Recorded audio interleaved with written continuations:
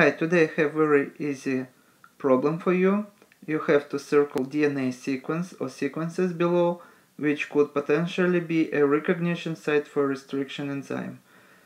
And those of you who know how to solve this problem, you may stop video here and, and choose the correct answer or it can be more than one answer and then you can run video again and compare your answer with my answers and explanation.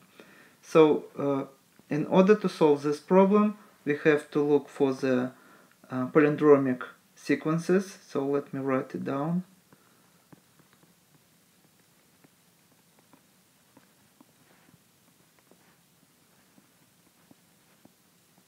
And palindromic sequence means that uh, something then we can read the same way both ways in uh, forward and reverse direction. For example, consider such a sentence as was it a car or a cat? I saw. And as you see we can read the same sentence in reverse direction. Was it a car or a cat? I saw so uh, but the only uh, difference from uh, the sentence in genetics we have two strands of the DNA two complementary strands and we have to consider not one strand but both strands. For example, we have to consider sequence of uh, one strand uh, in the 5 to 3 prime direction and we also have to find uh, the same sequence that would read the same way on the second strand that is going to be complementary to the uh, first strand also in 5 to 3 direction uh, but it's going to be in reverse direction. And for example, let's consider uh, the first example. We have AT, T, T, T, A.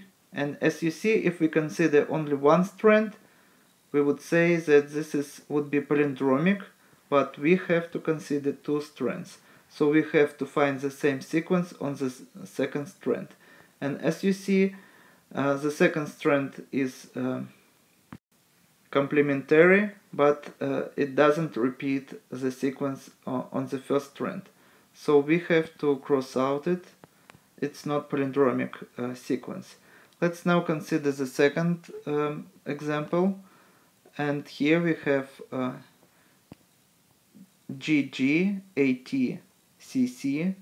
And when we read the second strand in the 5 to 3 prime direction we have GG, AT, CC. So this is the same sequence just in reverse direction. So this means that it can uh, serve potentially for uh, as a site for a restriction enzyme.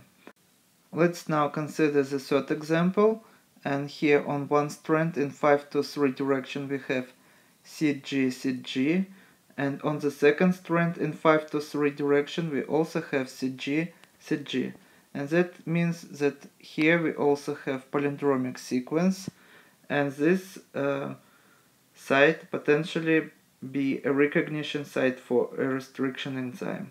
And now we left with the last example and uh, it starts from AG and on the second strand uh, it starts with CC so we even don't have to read the whole sequence. We already see that this is not palindromic sequence and we can cross out it also. Now I think you would be able easily to solve analogous problems if you find on your exam.